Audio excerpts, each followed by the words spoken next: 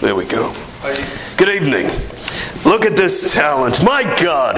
It's like a who's who, a who's that.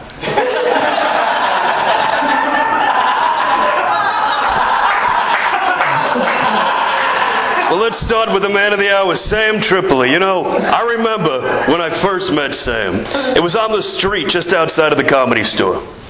He wasn't working at the club, that's just where he was living. And Sam, you get laid all the time with the hottest women. How is that possible? You're a fucking gargoyle. My God, most women would be more turned on watching Betty White get a hysterectomy. This is just the first one. Pages of it. But I guess beauty is truly in the eye of the beholder. As in, you be holding her down until she says, Fine, I'll fuck you. Dave Taylor, where's Dave? Dave, Dave was a software engineer before he got into comedy. Brilliant, brilliant career move. Yeah, why make tens of thousand dollars a year when you can make that in a lifetime? Where's Gareth Reynolds? Gareth. Gareth's right over here. Where is he? Oh, hey. Sorry, I didn't. Looks like he works at Cheesecake Factory. Yeah, there's a reason I'm on the mic. Gareth, Gareth, you had a role in the third Harold and Kumar movie, isn't that right? Wow, what a career break. I haven't seen exposure that small since Vicky got drunk and whipped her tits out. I swear to God, she took off her shirt and I thought she had three belly buttons because both of her tits are innies. I'm telling you, those things are so small you can't even call them tits. They're called tisn't. Pete C., you fucking unfunny midget. I'll be honest, Pete, you have a very shitty online presence. The only thing that came up was your Twitter feed. Well, that and your profile on meganslaw.com. I know, second Megan's Law joke. We didn't have a meeting when we wrote these. And speaking of people who have no career, Shawna Craig. You're in a movie called Actors Anonymous, right? Makes sense. I've never heard of you.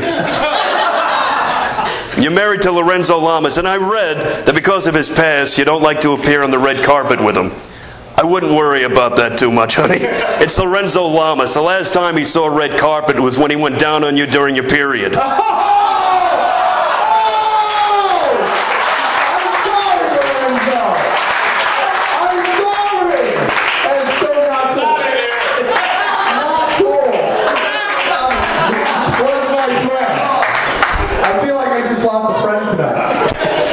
lose a lot more. And you were, yeah, you were in an episode of Celebrity Wife Swap where you ended up being married to Andy Dick.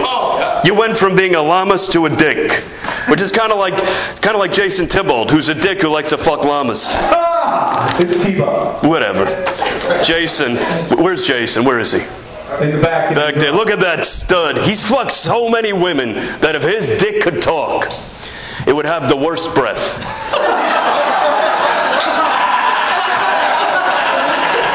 Ladies are always saying things about Jason, always saying things like, That's the man who tried to rape me, officer.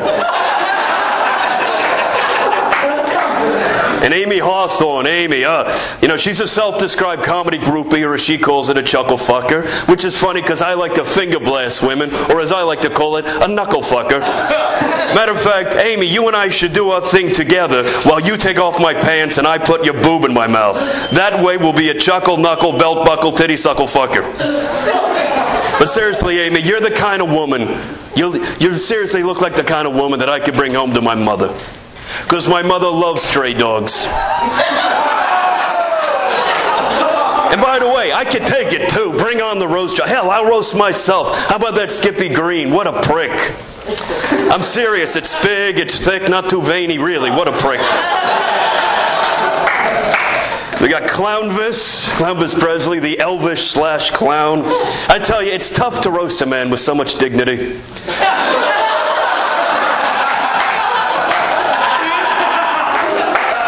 Clownvis. Clownvis will perform anywhere, anywhere. Kids' parties, boardwalks, the naughty show. Hell, Clownvis will perform at the opening of an envelope if the money is right. And, and by right, I mean exists. And by money, I mean a sandwich. Clownvis is a buddy. Actually Clownvis myself and uh, Bunny Fever slash Skippy Simon. We do a show together called The Cracked Back. It's known in the entertainment circle, Skippy Greene, Clownvis Presley, and the unfunny retard in a bunny suit. Bunny Fever. The only time I ever see this guy work is on this show. And all he does is strike out with every woman he talks to. And yet, yet he's still, you know, he's still making a living. That's strange. I had no idea someone can survive solely on blue balls and shame. Bunny Fever is so unfunny, he actually wrote that joke. I'm kidding, I'm kidding. Actually, you know, Bunny, he's an amazing performer. There's, I say, miraculous. I heard that one time Bunny was performing for a bunch of coma patients at a hospital, and he was so incredible that everyone in the room opened their eyes, got out of bed, and walked out. Two, three, four. Was it, was it Jeff Danis? Da- Danis? He didn't make it. He didn't make it? All right, well, I'll still do the bit because it's a funny one. Jeff, he actually appeared in a web series called Dudes in Bed, where he laid in bed in his underwear with a bunch of other guys. Christ, that's gayer than Bruce Vilanch spun bathing Nathan Lane with a dildo in the back of a PT Cruiser. Hollywood insider joke. Nobody knows Bruce Vilanch and Nathan Lane are gay. Really. Spoiler alert. Speaking of gay things, Randall, the honey badger guy, is here. You wrote a book called Honey Badger Don't Care. Neither did anyone else. Look at you, you got that hair and that mustache, always wearing turtlenecks. You look like what would happen if a 70s porn star fucked Carl Sagan. And you sound like what would happen if Keanu Reeves gargled cum. And since we're on the subject of things that sound like gargled cum, the, Bar- the Barris Kennedy Overdrive, are they here? Yeah, wh- where's, where are they? In the back. Man, what a shitty band. I've heard better noises coming from the Octomom's birthing video. How many more pages? Last one. Members of the band have included Don Barris, Earl Skakel, Tony Hinchcliffe, and Brody Stevens. It's like the Beatles, except without the talent and completely unfuckable. Christ, the four of you have the sex appeal of radiation poisoning.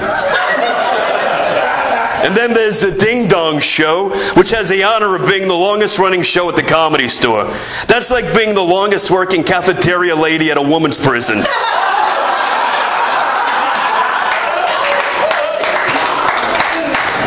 And you usually have the uh, performances in the belly room. Makes sense because the show feels like an abortion. And the show's hosted by Don Barris. Let me tell you something. I've watched his act. And the last time I saw something crash and burn like that, Paul Walker was in the passenger seat.